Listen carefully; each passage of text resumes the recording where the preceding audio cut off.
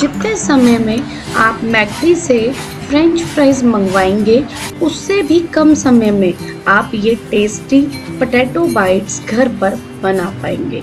और ये खाने में बहुत ज़्यादा क्रिस्पी होते हैं। सिर्फ़ दस रुपये से मैंने एक प्लेट भरकर इसको बनाया है।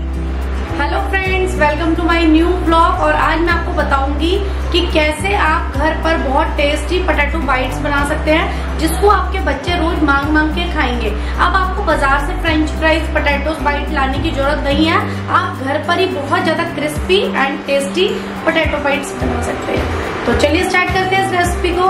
आइए मेरे साथ। पोटैटो बाइट्स बनाने के लिए मैंने देखिए यहाँ पर ना चार आलू लिए हैं। मैंने यहाँ पे कच्चे आलू लिए हैं। और इनको मैंने छील लिया है और अच्छे से मैंने वॉश कर लिया है। अब मैं आपको बताऊँगी कि आप इनको कैसे कट करें। तो देखिए, मैं आपको बताती हूँ। ये एक आलू, देखिए, मैं ऐसे आपको दिखाती हूँ। इस आलू को हमें चारों इसकी जो किनारी है, ये हटा देना है यहाँ से, क्योंकि हमें ना इनको थोड़े छोटे छोटे स्क्वायर में कट करना है।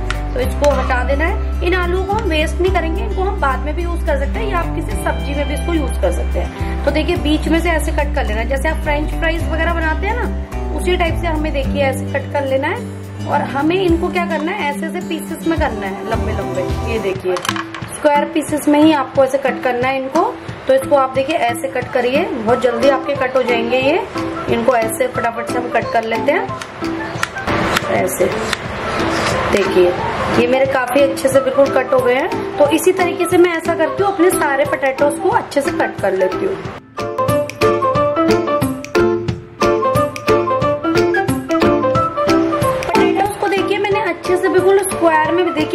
से मैंने कट कर लिया है। और इनको आप चाहें तो अगर आपके पास बड़े आलू हैं तो आप उनका भी यूज़ कर सकते हैं। मैंने यहाँ पे चार आलू लिए थे, अगर आपके पास ज़्यादा बड़े हैं तो आप दो आलू का भी यूज़ कर सकते हैं। अब एक कढ़ाई में ना मैंने अच्छे से देखिए, पानी अच्छे से मैंने बॉईल कर लिया है। और इसमें ना मैं एक चम्मच नमक डाल रही हूँ, ताकि जो इसमें ही हम जो मैंने जो कट करे है ना आलू स्क्वायर में, वो मैं इन्हीं में अच्छे से इनको बॉईल करूँगी।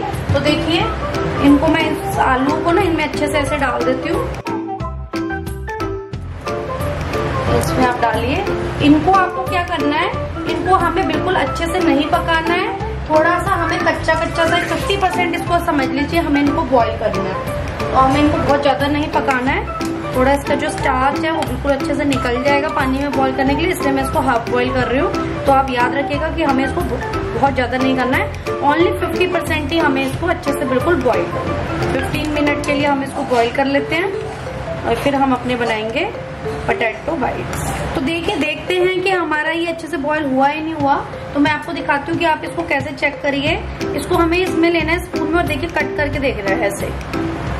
देखिए कट हो रहा है, ये अच्छे से मैश नहीं हो रहा है। हमें सिर्फ़ इतना ही करना है इसको। हमें हाफ़ बॉइल ही इसको करना है। बाकी जब हम फ्राई करेंगे तो उसमें बिल्कुल हमारे अच्छे से बिल्कुल अंदर से बिल्कुल पक जाएँगे। तो यहाँ पे देखिए मेरे फाइनली अच्छे से बॉईल हो गए हैं। अब मैं इसको क्या करती हूँ, एक छलनी में अच्छे से मैं बिल्कुल इसको छान लेती हूँ। अब मैं इसको देखिए छलनी में ना इसको ऐसे छान लेती हूँ। ताकि हमारा जो इसका पानी है, वो बिल्कुल अच्छे से निचड़ जाए देखिए, ऐसे मैंने इसको अच्छे से छान लिया। ये देखिए, इनको अच्छे से मैंने छान लिया अब मैं इसको एक बाउल में कन्वर्ट कर देती हूँ। अब यहाँ पर देखिए, जो मैंने ये आलू लिए हैं ना, मैं इनको इस बाउल में अच्छे से ऐसे डाल दूँगी। और इसी के साथ में यहाँ पर देखिए, ये मैंने अच्छे से बिल्कुल इसको यहाँ पे डाल दिया है। और यहाँ पे ना मैंने थोड़ा सा यहाँ पे लहसन का पेस्ट बनाया है। ये मैंने फ्रेश ही लिया आप पिसा हुआ मत लीजिए, इसको फ्रेश ही बनाइएगा। यहाँ पे मैंने इसको ऐसे यहाँ पे देखिए, आपस में इसको ऐसे मिक्स कर देंगे इसमें। अब यहाँ पे देखिए, इसी में मैं एक चम्मच कॉर्नफ्लोर का यूज़ कर रही हूँ। ये मैंने एक बड़ा चम्मच लिया है कॉर्नफ्लोर और इसी के साथ मैं एक चम्मच यहाँ पे डालूँगी मैदा को। मैदा का भी इसमें हमें यूज़ करना है। अगर आपके पास बाई चांस कॉर्नफ्लोर नहीं है तो आप लोग क्या कर सकते हैं? आप लोग चावल के आटे का यूज़ कर सकते हैं। और थोड़ा सा मैं इसमें यहाँ पे डालने वाली हूँ चिल्ली फ्लेक्स अगर आपके छोटे बच्चे हैं आप नहीं डालना चाहते चिल्ली फ्लेक्स तो आप अवॉइड भी कर सकते हैं। पर वैसे अगर आप इसमें चिल्ली फ्लेक्स का यूज़ करेंगे तो ये आपका काफ़ी अच्छा बनेगा। और थोड़ा सा मैंने ऑर्गिनो डाला है और थोड़ा सा मैं यहाँ पे डाल रही हूँ हरा धनिया। देखिए, हरा धनिया तो सभी के घर में मिल जाता है तो हरा धनिया का आप ज़रूर यूज़ करिएगा। और थोड़ा सा मैंने आधा सा चम्मच मैं यहाँ पे डाल रही हूँ नमक। और अब मैं इन सबको ना बिल्कुल अच्छे से देखिए, बिल्कुल अच्छे से ऐसे मिक्स कर दूँगी। हमने इसमें कॉर्नफ्लोर का मैंने इसलिए यूज़ करा ताकि जो मेरे ये पटाटो बाइट्स है ना, ये मेरे बहुत ज़्यादा क्रिस्पी एंड क्रंची बने।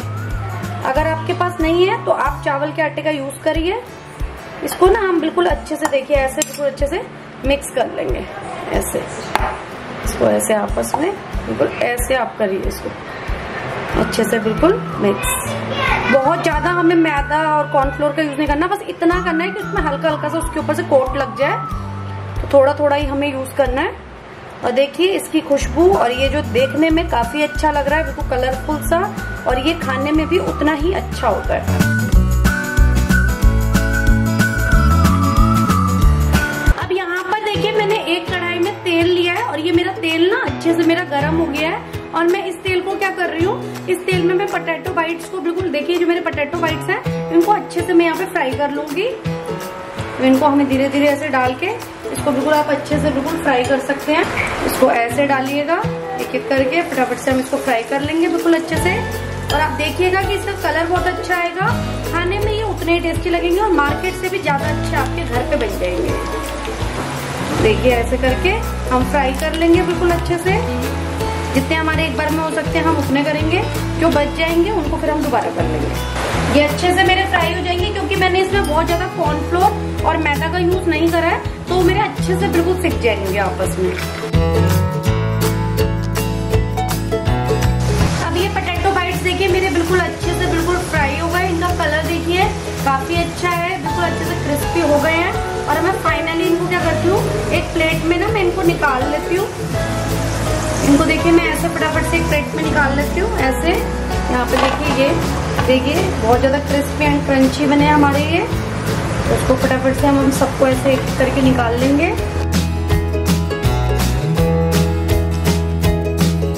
जो बचे हुए अब हमारे थोड़े से पटेटो रह गए, उनको भी हम इसी तरीके से फटाफट से फ्राई कर लेंगे।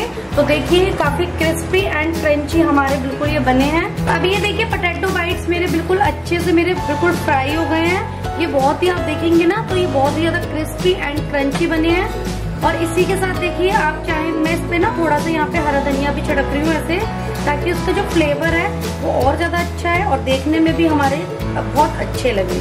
तो इसको देखिए, अब ये फाइनली मेरे बनके बिल्कुल रेडी हो गए हैं। आप इसको ज़रूर ट्राई करेगा क्योंकि ये बहुत ही क्रिस्पी एंड क्रंची बनते हैं और आपके बच्चों को बहुत ज़्यादा अच्छे लगेंगे। और देखिए, मैंने तीन चार आलू में काफ़ी सारे मैंने पोटैटो बाइट्स बना दिए और आप चाहे ना तो इसको ब्रेड सॉल्ट के साथ भी इजीली आप इसको सर्व कर सकते हैं। और उसके साथ भी आपको काफ़ी टेस्टी लगेंगे। ग्रीन सॉल्ट ग्रीन चटनी, आप रेड सॉल्ट या ग्रीन चटनी, किसी के साथ भी आप इसको इजिली खा सकते हैं। तो देखिए दोस्तों, अगर आपको मेरी रेसिपी अच्छी लगी तो प्लीज़ मेरे चैनल को लाइक शेयर एंड सब्सक्राइब करिए। मिलते हैं नेक्स्ट वीडियो में। तब तक के लिए बाय